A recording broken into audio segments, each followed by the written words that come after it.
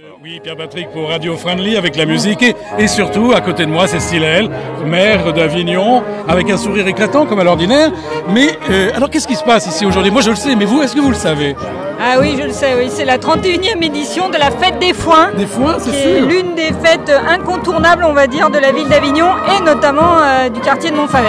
Bah, écoutez, moi je suis ravi parce que j'ai fait déjà pas mal de stands. Je suis obligé de parler fort car nous sommes assaillis par la musique et la coupe au santo d'ailleurs.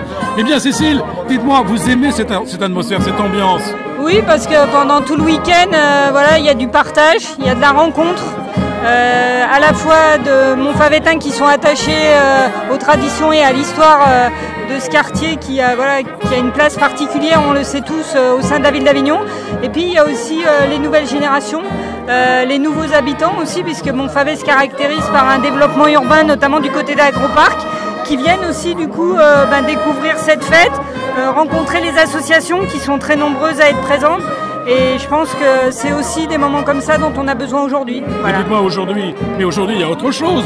Je crois que ce Aujourd'hui, soir il c'est est aussi la libération de la ville d'Avignon. Voilà. Donc, euh, du coup, euh, depuis trois ans maintenant, le feu d'artifice a lieu ce soir-là pour que ce soit aussi tous les Avignonnais qui bénéficient euh, de cette fin d'été un peu festive.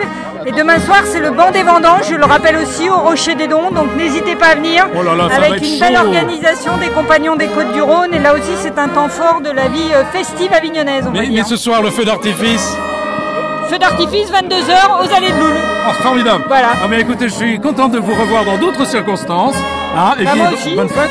Eh ben, bonne On fête à tout le monde hein. et bon dernier week-end du mois d'août. À tous. C'est gentil. Voilà. À très bientôt. Au revoir Cécile.